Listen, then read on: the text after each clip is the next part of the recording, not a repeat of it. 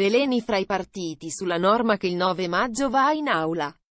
Manca l'accordo sul catasto. Manca poco, pochissimo, solo un tassello, la riformulazione di una norma nella riforma del catasto. Ma non ci sono molti altri margini per trattare, non c'è più spazio per rinvii.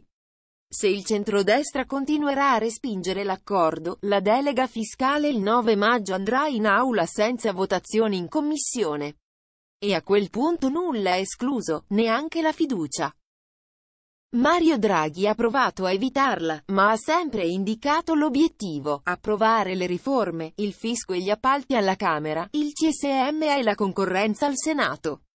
Ora è giunto il momento di tirare le somme. Intesa o rottura, aggiorni il verdetto sulla riforma delle tasse.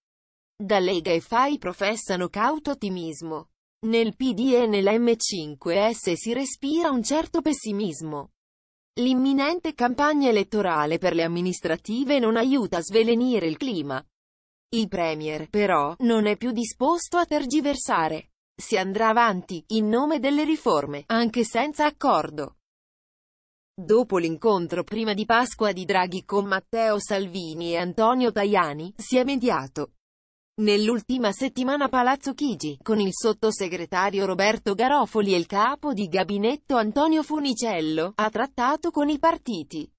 Tutti, non solo il centrodestra.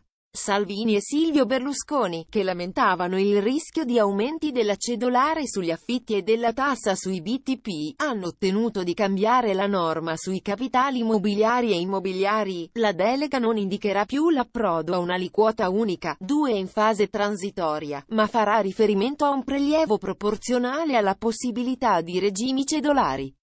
Il PD ha chiesto e incassato che l'IRPEF si abbassi a partire dai redditi medio-bassi.